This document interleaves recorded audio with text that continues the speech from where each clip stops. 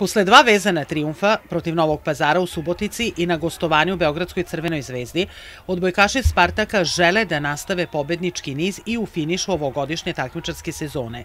U okviru derbija 14. kola Super lige četvrtoplasirani Subotičani ugostiće izuzetno kvalitetnu ekipu mladog radnika iz Požarevca koja ima dva boda više od njih i nalazi se stepenicu više na tabeli.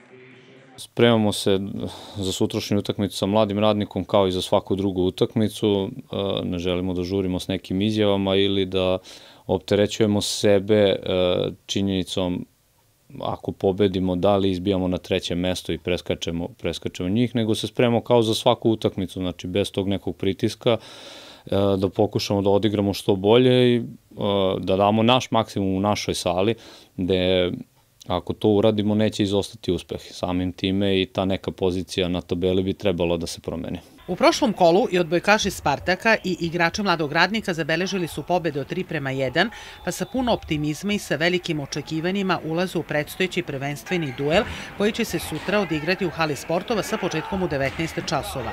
Pošto su u prvom delu šampionata Subotičani na gostovanju u Požarevcu izgubili sa 3 prema 1, daće sve od sebe da se iskusnom i borbenom protivniku revanširaju za taj poraz i da još više uvećaju bodovnu zalihu od trenutno 20 osvojenih bodova. Pa prošle sezonu sam e, igrao u ekipi mladog radnika, ekipa je malo izmenjena, e, podmlađena, međutim, momci su se jako dobro uklopili i igraju, igraju vrlo dobro.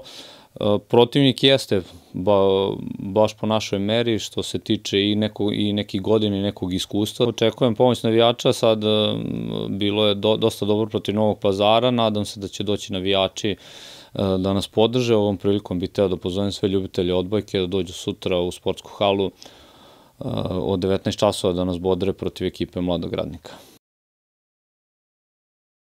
Učenice osnovne škole Jovan Jovanović Zmaj i Subotica osvojile su treće mesto i bronzanu medalju na republičkom takmičenju u futsalu koja je održana u Čačku. Bronzani tim Subotičanki bio je sastavljen od 10 učenica od četvrtog do osmog razreda, a ekipu kao kapiten predvodila je Marina Rajić, inače članica ženskog futbalskog kluba Spartak. Pa prvo smo igrali protiv Pirata, njih smo pobedili 14-0. Onda smo igrali protiv Beograda, to je bila malo teža utakmica, njih smo pobedili 3-2 i onda je došla utakmica sa velikom planom gde smo izgubili 3-2, a posle smo za treće mesto pobedili ekipu Kragujevca 6-1. E, iz prve postave nas tri igramo u Spartaku iz mog odeljenja i pa nismo baš mislili da ćemo tako dobri biti, ali smo očekivali da ćemo do republičkog bar stići. Na finalnom takmičenju u Čačku u konkurenciji osnovaca učestvovalo je osam ekipa iz cele Srbije, a učenicama Subotičke škole Jovan Jovanović Zmaj, koje je predvodila profesorka fizičkog vaspitanja Klara Kiš, za dlaku izmaklo finale jer su u polufinalu izgubile od ekipe iz Velike plane, koja se na kraju našla na pobedničkom postolju, dok je Novi Sad bio drugi. U borbi za treće mesto Zmajevke su bile bolje od vršnjakinje iz Kragujevca i sasvim zasluženo pripo im je bronzani pehar. Početak e, školskog takmičenja, gradsko takmičenje, okružno, međuokružno, znači oni su sve to jako lepo i kvalitetno odradile, tako da, mislim, imali smo stvarno jako debeo razlog da verujemo da ćemo i na republičkom takmičenju isto tako lepo da učestvujemo.